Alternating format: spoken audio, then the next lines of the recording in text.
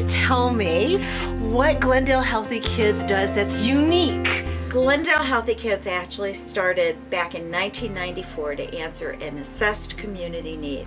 It was kids in the local community who had no insurance, were low income, and had no access to medical or dental care other than what would be available in a hospital emergency room we keep an average of 30 kids out of the ER annually through our services at five to seven thousand dollars an average visit.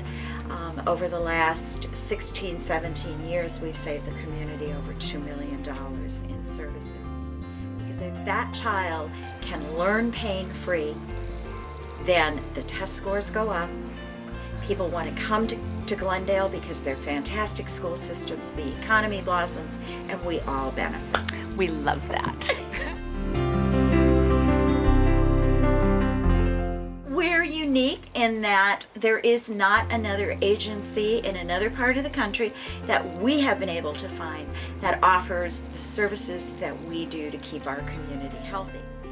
Glendale Healthy Kids is proud to be able to say that we do not accept any government funding. Depending on the day time that you run our financials, anywhere between 75 and 80% of every dollar donated goes to direct services. So we like to say that a $25 donation will purchase a prescription, a $35 donation will purchase one hour of mental health therapy for a child that may keep that child from committing suicide do it all without our over 250 volunteer healthcare providers, but we are always looking for more. So let's take two, Camille. was hoping for Camille.